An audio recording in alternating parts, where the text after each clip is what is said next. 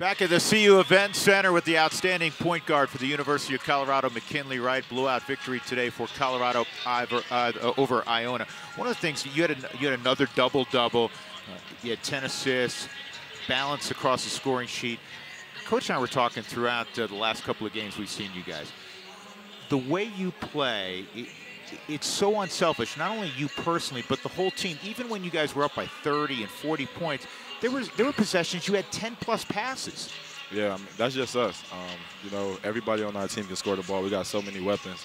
So we feel like if we get teams in rotations, um, they'll break down eventually. So I think we showcased that tonight. Um, 25 assists, 26 assists, whatever we had. So um, yeah, that's just us, man. Yeah, absolutely. Talk about your approach. You know, against Dayton, 29 points, 10 rebounds. You're looking to score tonight. You look to facilitate. What? Tell me how you how you come up with that. The way that you're going to approach the game. Um, I'm out. Coach always wants me to be aggressive. I'm always trying to, um, you know, pick and choose my moments. Um, tonight, you know, uh, they were keying into me. Their coach was telling them to, the, to, to deny me the ball. So I knew once I got the ball, it was going to be a lot of attention on me, and I was going to be able to find my guys. And they were they were open and uh, ready to knock down shots. Oregon's up next. You two guys uh, were the uh, the preseason picks to, to be atop the, the conference.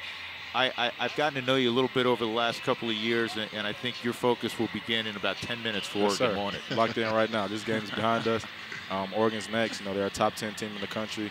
Um, we know what they're going to bring. We know they are a high-level shooting team, a high-level um, officiating teams. I mean, efficient team. So right. um, we're going to have to have our caps on and, and, be ready to battle. There's going to be a war in here. Yeah, and I know that tee you got for celebrating your teammates, uh, the guys that don't get a lot of floor time.